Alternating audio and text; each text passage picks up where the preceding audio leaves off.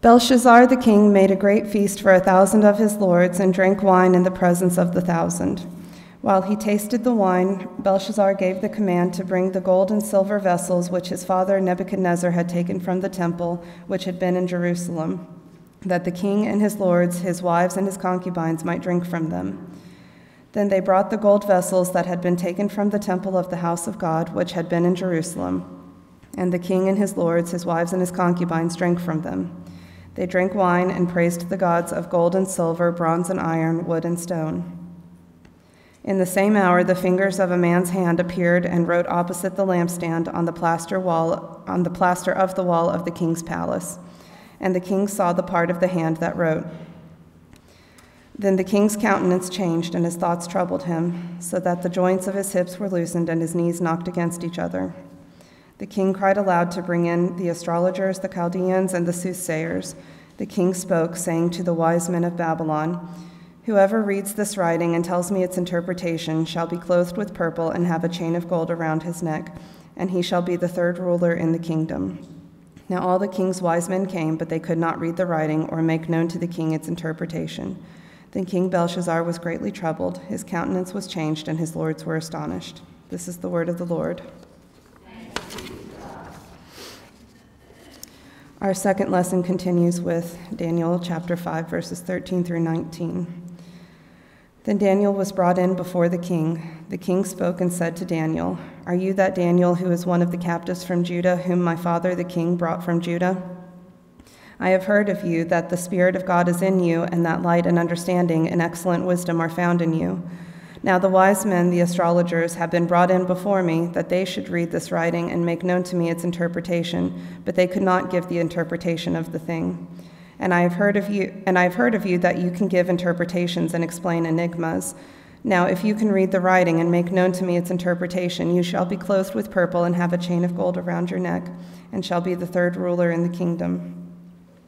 Then Daniel answered and said before the king, let your gifts be for yourself, and give your rewards to another. Yet I will read the writing to the king, and make known to him the interpretation. O king, the Most High God gave Nebuchadnezzar your father a kingdom and majesty, glory and honor. And because of the majesty that he gave him, all peoples, nations, and languages trembled and feared before him. Whomever he wished, he executed. Whomever he wished, he kept alive. Whomever he wished, he set up. And whomever he wished, he put down. This is the word of the Lord. Gospel. Holy Gospel this morning is taken from the Gospel of Luke, the 10th chapter. Jesus had sent out 70 of his disciples to minister in the countryside, and in this morning's Gospel, they have returned to give Jesus their report. So then the 70 returned with joy, saying, Lord, even the demons are subject to us in your name. And Jesus said to them, I saw Satan fall like lightning from heaven. Behold, I give you the authority to trample on serpents and scorpions and over all the power of the enemy, and nothing shall by any means hurt you. Nevertheless, do not rejoice in this, that the spirits are subject to you, but rather rejoice that your names are written in heaven. This is the gospel of the Lord. Thanks be to God. You may be seated. Invite the children up.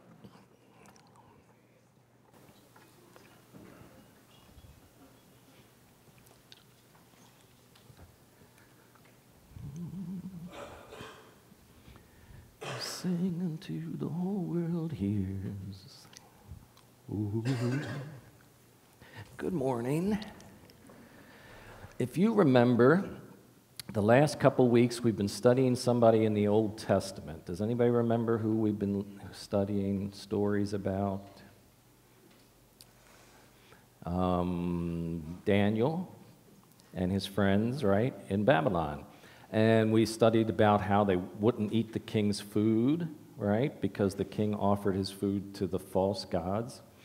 And then last week, we saw that three of them got thrown into the fiery furnace and they weren't injured at all because Jesus appeared and, and protected them.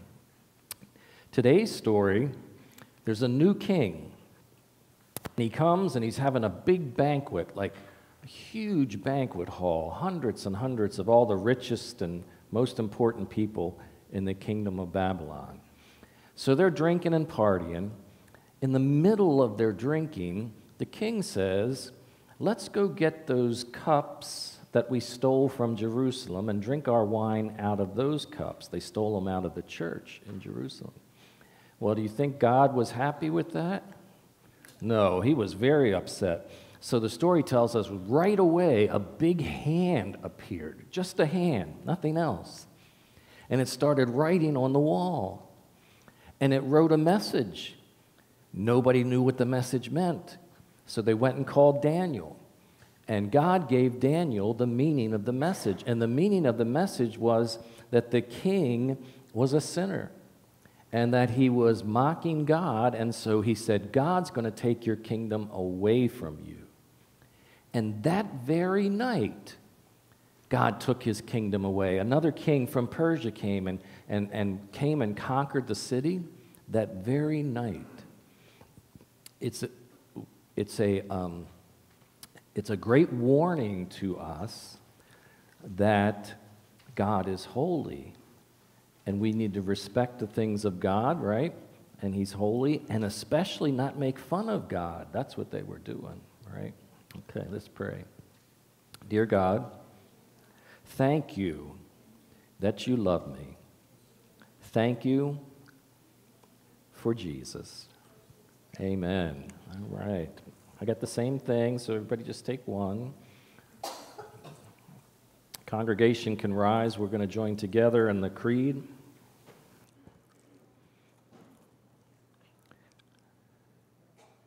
Go ahead. You don't want one? There you go. All right.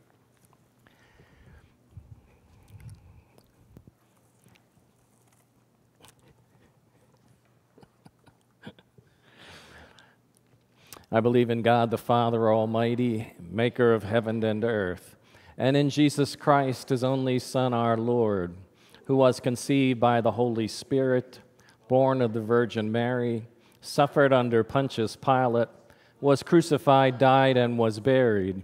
He descended into hell. The third day he rose again from the dead. He ascended into heaven and sits at the right hand of God the Father Almighty. From thence he will come to judge the living and the dead. I believe in the Holy Spirit, a Christian church, the communion of saints, the forgiveness of sins, the resurrection of the body, and the life everlasting. Amen. You may be seated. You should have received a uh, handout this morning. On the back page is the the last portion of Daniel 5, which kind of completes the story that uh, Janelle was reading. So we'll finish that. It's Daniel 5 22 to 31.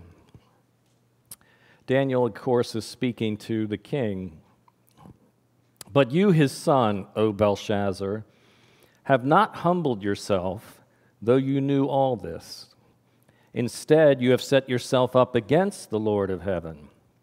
You had the goblets from his temple brought to you, and you and your nobles, your wives, and your concubines drank wine from them.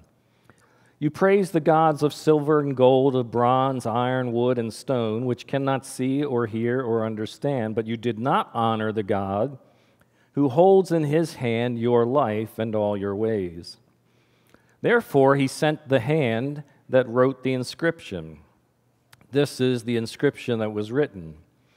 Mene, mene, tekel, parsin. This is what the words mean. Mene, God has numbered the days of your reign and brought it to an end. Tekel, you have been weighed on the scales and found wanting. And Peres, your kingdom is divided and given to the Medes and the Persians. Then at Belshazzar's command, Daniel was clothed in purple, and a gold chain was placed around his neck, and he was proclaimed the third highest ruler in the kingdom. That very night, Belshazzar, king of the Babylonians, was slain. And Darius the Mede took over the kingdom at the age of 62. This is the word of the Lord. Thanks be to God. Uh, Daniel is, um, is an important book in the Bible for a lot of reasons. Um, one of them is it's a great testimony to the reliability of Scripture.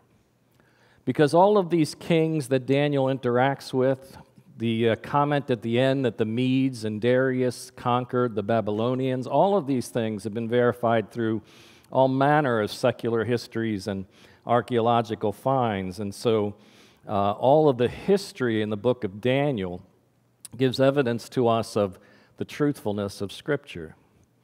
We know that King Nebuchadnezzar did conquer Israel and ruled Babylon. We know that Belshazzar, his son, ruled after him. And we know that Cyrus the, the, of the Persians um, uh, conquered Babylon. Today's account from the Bible is where we get the English saying, the handwriting on the wall. In English, it's come to mean something inevitable, something that cannot be changed. Like when, when you work at a large corporation and all of a sudden everybody's getting laid off, and someone might say, I'm going to get let go, I can see the handwriting on the wall. The real story, the real implications of the handwriting on the wall, of course, are much deeper than that. Years ago, Rabbi Kushner made religious publishing history with his bestseller, Why Do Bad Things Happen to Good People? Some said that Rabbi Kushner avoided or sidestepped the equally difficult question, and that is, why do good things happen to bad people? Let's be honest, one of the reasons that the kids and all of us love these stories from Daniel is everyone seems to get what they deserve. That's what we like to see in our movies, right? And in our storybooks. The good guys win and the bad guys get what's coming to them. That's a rare occurrence in life. But it seems to happen constantly in Daniel. In life, real creeps and villains are rarely visibly, swiftly punished. Creeps get elected to public office, become presidents of large corporations. They become rich dictators of countries like Iran and North Korea. Creeps become multi million dollar boxers or singers or athletes or pastors of large congregations. The History Channel ran a series on lawyers called Mouthpieces for the Mob. It was incredible about how these lawyers just sold their souls for the money, and even more incredible was how often they were able to get these slimeball clients off scot free when it was obvious to everyone that they were guilty. Somebody say OJ. But in Daniel, creeps get cut up into pieces or burned to a crisp. That's Daniel 3. They get turned into a human dog. That's Daniel 4. They get slain by the sword. That's Daniel 5. They get eaten by lions. That's Daniel 6. And we just love these stories where the bad guys very quickly get what they deserve. Because we long for a world of justice. But swift, complete justice is so rare in our world. But in Daniel, we see the sleazy kings and the corrupt wise men, and they strut across the stage of life. But then, zap, at the end of every chapter, God's great justice comes down. And we know life doesn't work that way. Let's pray. Father,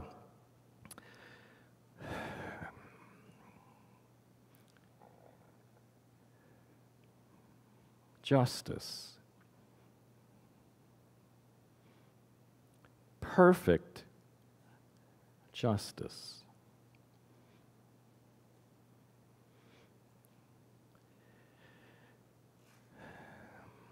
In our sense of, of righteousness, we would like to see justice perfect in this world. But it is the very nature of our sin that justice is so often unrighteous around us against peoples, individuals. Lord, make us people, as you said in the book of Micah. Make us people who love justice and who are filled with mercy. Amen. So again, we see the bad guys getting what they deserve, and one of the bad guys in today's story is King Belshazzar.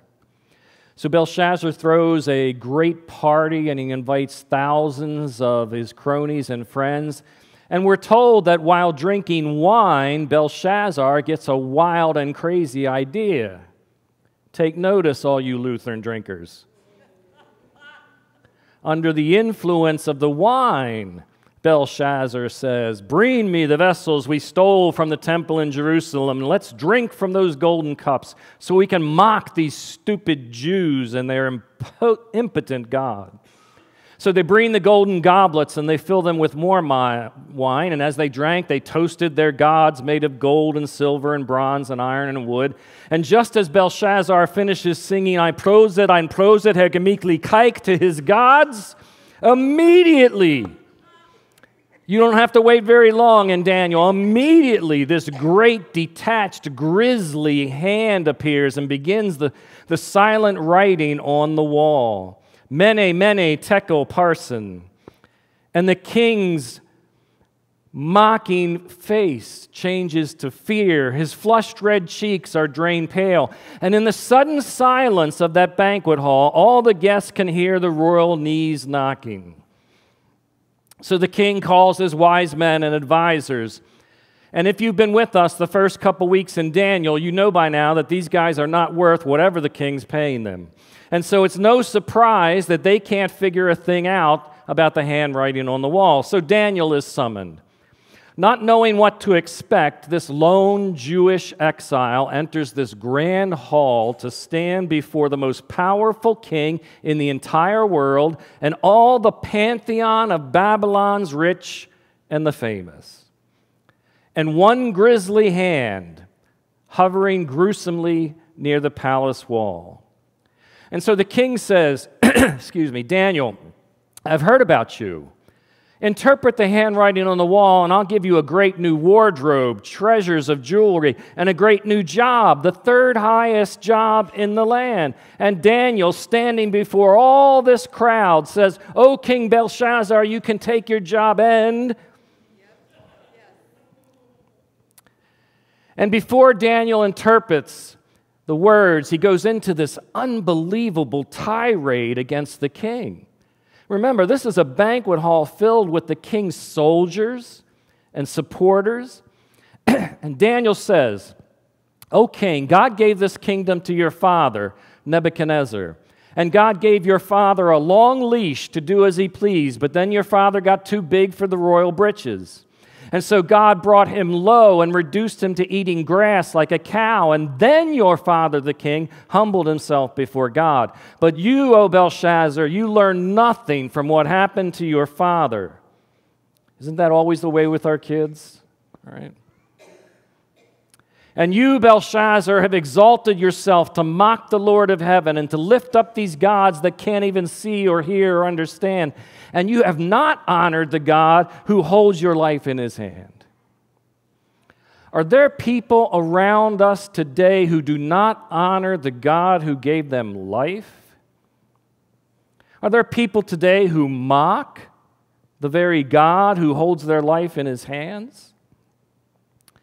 And so Daniel interprets the words, mene, mene tekel parsin, which roughly translated means, O king, your time is up. It's judgment day for you and your arrogant cronies. God has weighed you in his scales and found you to be a lightweight. And now your kingdom will be given to the Persians. And of course, verse 30 tells us that very night Belshazzar was killed and Darius and the Persians took over the kingdom. In Daniel, you don't have to wait very long for evil to get its due or to see good rewarded. The problem is this because things don't often work so neatly or so swiftly in our world, we can begin to doubt the idea of ultimate justice for every man and woman. we can begin to wonder if there really is retribution against all those who are doing evil and reward for those who are doing good. Because we don't see it happen very often. And so Rabbi Kushner's answer is no, it doesn't work that way. He says sometimes good people get bad stuff, sometimes bad people get good stuff, and it's all just a matter of chance or luck or fate. And you just have to kind of roll with the punches of life. Life is like a big roulette wheel, and sometimes you get your good numbers, and sometimes you hit your bad ones. But this story in Daniel and the Bible reminds us that there is an ultimate justice, that God is not mocked, and that man reaps what he sows. And while we may get a little pleasure from watching Belshazzar tremble at the handwriting on the wall, the Bible makes it very clear that there is a handwriting from God that condemns you and condemns me as well.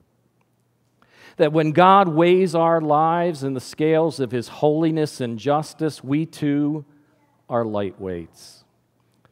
One of the passages in your handout from Samuel says that our deeds in life are weighed by God. And it's not just any old God that is doing the weighing, but God, in his sinless, holy perfection, is the standard that you and I are weighed against. Jesus said to us, Be perfect as your Father in heaven is perfect. So, on one side of the scale is the holiness and the perfection of God. On the other side of the scale is you and your life. That great grisly hand could appear over my casket or your casket and write the words, Mene, mene tekel parsin. God has numbered your days. You have been weighed by his scales, and you have been found wanting. You see, the terrible part of justice, of people getting what they really deserve from God, is when we get what we deserve. When the handwriting is judging you and your life.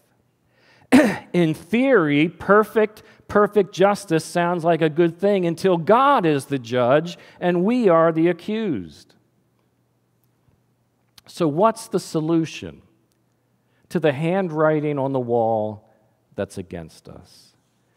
Take out your handout. I want to show one passage, we're going to all look at it together. It's the one that's circled, it's letter H. Once you get there, we'll read through this together. When you were dead in your sins, God made you alive in Christ. He forgave us all our sins, canceled the handwriting against us. He took it away, nailing it to the cross. Thank you, Jesus. When you trust in Jesus, there is another hand that comes to write on the wall. It's a nail scarred hand holding a bloody rag.